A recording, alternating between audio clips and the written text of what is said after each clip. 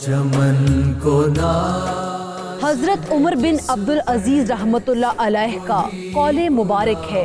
मोहब्बत रसूल सल्लल्लाहु अलैहि वसल्लम एक मुसलमान के ईमान का हिस्सा है। का